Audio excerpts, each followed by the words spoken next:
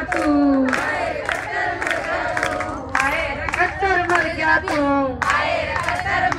तू तू आपे रांडा मर गया तू हाय खट्टर मर गया तू हाय अनिल विज मर गया तू हाय अनिल मर गया तू हाय अनिल विज मर गया तू हाय अनिल मर गया तू तू मारा वेतन खा कर अनिल विज मर गया तू हाय अनिल मर गया तू पंचायत में ते बाजर खट्टर मर गया तू खट्टर मर गया तू तू जांदा जांदा इन्हें वेतन दे जनर खट्टर मर गया तू तू हाय खट्टर मर गया तू खट्टर मर गया तू हाय रे खट्टर मर गया तू।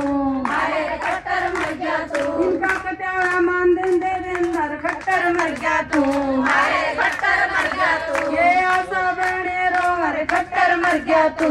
हाय खट्टर मर गया तू खट्टर मर गया हाय हाय खट्टर मर गया हाय हाय सारी रोलो हाय हाय तू भी रोले हाय हाय मैं भी रोलू हाय हाय मारो तू आदड़ा हाय हाय जरा बिछा लो हाय हाय जरा बिछा लो हाय हाय सबको पालो हाय हाय सबको पालो हाय हाय आशा रोवे हाय हाय पिटियाई रोवे हाय हाय आंगनवाड़ी वाली रोवे नमस्कार, ये तस्वीरें हम आपको दिखा रहे हैं हरियाणा के करनाल के रेड क्रॉस से, जहाँ पर आप देख सकते हैं कि किस तरीके से जो आशा वर्कर हैं, हरियाणा के मुख्यमंत्री का यहाँ पर पुतला रखे हुए हैं और किस तरीके से विरोध जताती हुई फ़िलहाल नज़र आ रही हैं। आप इस वीडियो को शेयर अवश्य करें।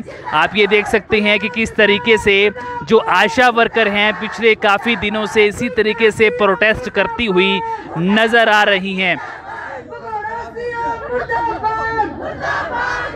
कुछ एक लोग हमारे साथ जुड़े हुए हैं बात करना चाहेंगे मैम आप बताइए क्या कुछ कहना चाहेंगे काफ़ी समय से आप प्रोटेस्ट करते हुए नज़र आ रहे हैं। ये जो आशा वर्कर बहनें हैं हमारी पिछले दो महीने से बैठी हैं और इनकी जो मांगे हैं कोई नई मांग नहीं है। 2018 में विधानसभा में बात की थी खट्टर साहब ने कुछ इनकी मांगे माननी थी। और उनके आज तक नोटिफिकेशन नहीं दिए हैं। हम सरकार से कहते हैं कि इनको कोरोना योद्धा बना रखा है। तो कोरोना योद्धा का मान सम्मान भी दो।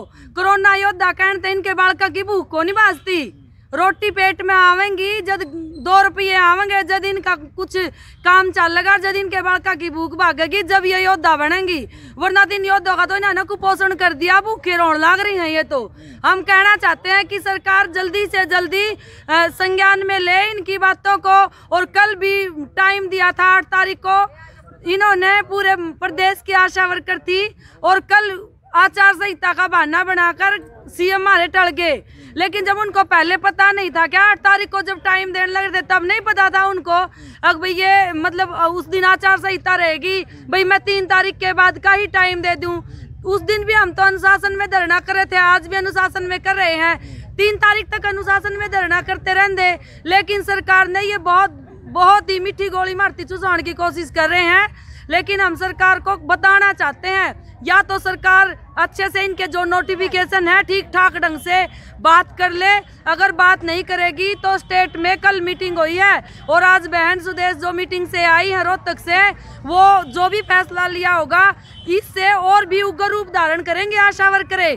और जो उग्र रूप धारण करेंगी, इसकी जिम्मेदार सीएम साहब की और स्वास्थ्य मंत्री की होगी। इसमें हमारी बहनों का कोई कसूर नहीं होगा। तो ये आप देख सकते हैं, काफ़ी संख्या जो है आशा वर्कर की देखी जा रही है। और तस्वीरें हम आपको दिखा रहे हैं हरियाणा के करनाल के रेड क्रॉस से, जहाँ पर आप देख सकते हैं, प्रदेश के जो मुख्यमंत्री है, उनका पुतला यहाँ पर जो है, उनके पुतले की अगर हम बात करें तो प्रदर्शन करते हुए नज़र आ रही हैं कुछ। एक आशा वर्कर और भी हमारे साथ जुड़े हुई हैं। आप बताइए, क्या कुछ कहना चाहेंगे इस विषय में?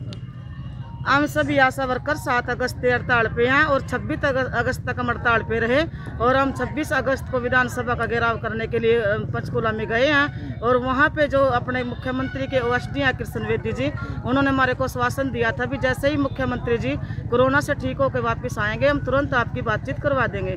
और इतना लंबा टाइम बीत जाने के बाद भी हमारी कोई बातचीत नहीं करवाई स्टेट कमेटी के साथ और 28 तारीख को फिर हमारे डेलीगेशन को दोबारा बुलाया गया और बातचीत जो करवाई गई वो उसमें उप मुख्यमंत्री दुष्यंत चौटाला जी चौटाला जी बीच में थे और कृष्ण बेदी जी जो एस वो भी थे और हमारे मिशन डायरेक्टर और स्वास्थ्य विभाग के अधिकारी भी बीच में शामिल रहे। हमारी वर्करों में रोष है क्योंकि जब मुख्यमंत्री जी ने विश्वास दिलवाया था भी मीटिंग में मैं शामिल होकर बातचीत करूँगा, मुख्यमंत्री जी ने मीटिंग में शामिल क्यों नहीं हुए? और गोड़ मोड़ तरीके से बातचीत की गई, कोई भी समाधान नहीं निकाला गया। हमारी वर्करों को जो है टाल मटोल करके हमारा जो 28 तारीख का प्रोग्राम 29 तारीख का जो प्रोग्राम करनाल के अंदर था, उसको टालने की कोशिश की गई और हमारी स्टेट कमेटी ने फैसला किया और सात सात अक्टूबर तक का टाइम दिया गया। भी सात अक्टूबर तक हमारी जो मांगे हैं, उनको पूरी करें और उसको लागू करें। और नहीं तो आठ तारीख को हम करनाल के अंदर, पूरी स्टेट की आशा वर्कर करनाल के अंदर रैली करेंगे। हम अपने शांतिपूर्ण तरीके से अपने धरने प्रदर्शन चला रही हैं और सरकार हमारी कोई सुध नहीं ले रही। आठ तारीख को जो यहाँ के ओ एस डी हैं मुख्य, इनके मुख्यमंत्री जी के हैं, उन्होंने हमारे को लिखित में और हमारी जो स्टेज थी, हमारा आशा वर्करों का स्टेट की। उसके ऊपर आन के मौखिक तौर से बोला लिखित में दिया तहसीलदार के साहब के साइन थे कि भाई 20 अ, अक्टूबर को आपके साथ मुख्यमंत्री जी की बातचीत करवाई दी जाएगी। कल भी हम शांतिपूर्ण तरीके से अपना प्रोग्राम कर रहे थे। कल हमारी स्टेट की कमेटी की बातचीत नहीं करवाई गई मुख्यमंत्री के साथ। और यह कह के टाल दिया गया भी अब तो आचार संहिता लग रही है। हम सरकार से क्वेश्चन करना चाहते हैं। जब लंबे टाइम से आशा वर्कर धरनों पे है, इतने दिन से कोई नई मांग नहीं है, पुरानी मांग है। उसमें कोरोना के जो जोखिम बत्ते हैं, उसमें हम प्लस जोड़ रहे हैं उसको, और वो देने चाहिए सरकार को। कल हमारी स्टेट कमेटी के साथ बातचीत नहीं करवाई गई। इसी बात को लेकर हमारी पूरे करनाल की आशा वर्कर इकट्ठी होकर सीएम सीएम के आवास का घेराव करने के लिए गई थी और यहाँ के जो पुलिस प्रशासन ने किया, वो बहुत बदसलूकी की। जो जेंट्स पुलिस थी, उन्होंने हमारी आशा वर्करों के साथ हाथापाई की धक्का मुक्की की, लाठीचार्ज करने की कोशिश करी। जिसके कारण आज हमारी पूरे स्टेट की आशा वर्करों ने वो अपने अपने जिलों जिलों के अंदर सीएम साहब का पुतला जलाएँगे रोज है वर्करों के अंदर क्योंकि 20 तारीख को बातचीत जो होनी थी वो नहीं करवाई गई और जो हमारी आशा वर्कर घेराव करने के लिए गई गई बातचीत करने के लिए गई उनके ऊपर लाठीचार्ज करने की कोशिश की गई। और आगे जो खामियाँ भुगता जाएगा उसकी सारी जिम्मेवारी हरियाणा सरकार की होगी क्योंकि इतने लंबे आंदोलन के बाद भी सरकार आशा वर्करों की कोई सुध नहीं ले रही है। और मजबूरन आशा वर्करों को कोई इसमें अगर कोई कड़ा फैसला ले, लेना पड़े मजबूरी में तो उसकी पूरी जिम्मेवारी हरियाणा सरकार की होगी। तो ये आप देख सकते हैं कि किस तरीके से पूरे ज़िले भर की अगर हम बात करें तो यहाँ पर इसी तरीके से प्रोटेस्ट देखा जा रहा है। ये करनाल की ही बात नहीं है। और भी अन्य जिलों की अगर हम बात करें, हरियाणा के तमाम जिलों की बात करें तो इसी तरीके से जो आज प्रोटेस्ट है, वो देखा जा रहा है। जो हरियाणा के मुख्यमंत्री हैं मनोहर लाल खट्टर, उनका जो है पुतले की अगर हम बात करें तो पुतला अभी थोड़ी देर बाद फूकेंगे आप। हाँ जी अब हम आधे घंटे के बाद यहाँ से पुतला लेकर चलेंगे। जी कहाँ किस जगह फूकेंगे? हम घंटाघर चौक पर पुतला जलाएँगे।